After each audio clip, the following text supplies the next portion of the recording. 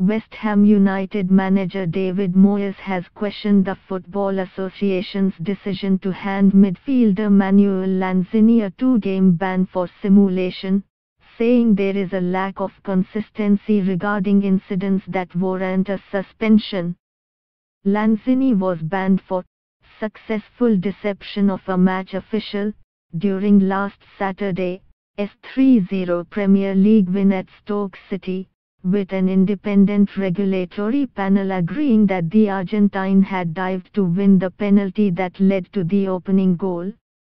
The FA rejected West Ham's appeal of the ban on Tuesday, making Lanzini the second player to be retrospectively banned for simulation after Everton's Oumar Niasse.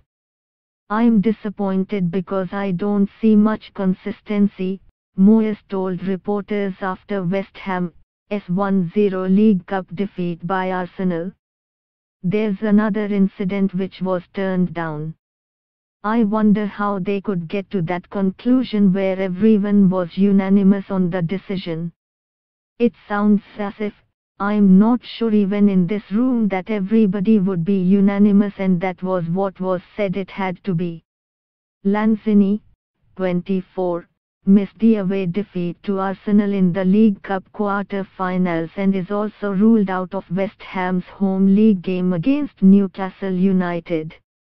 Moyes lauded his team's performance at the Emirates but felt experienced midfielders must be recruited in the January transfer window after 18-year-olds Domingos Quina and Declan Rice were fielded for a much-changed West Ham side on Tuesday. I think we have been making progress and winning games and we have been well organized and hard to play against. We showed that again tonight, Moyes added. But what we are seeing as we go along is the next step is adding quality.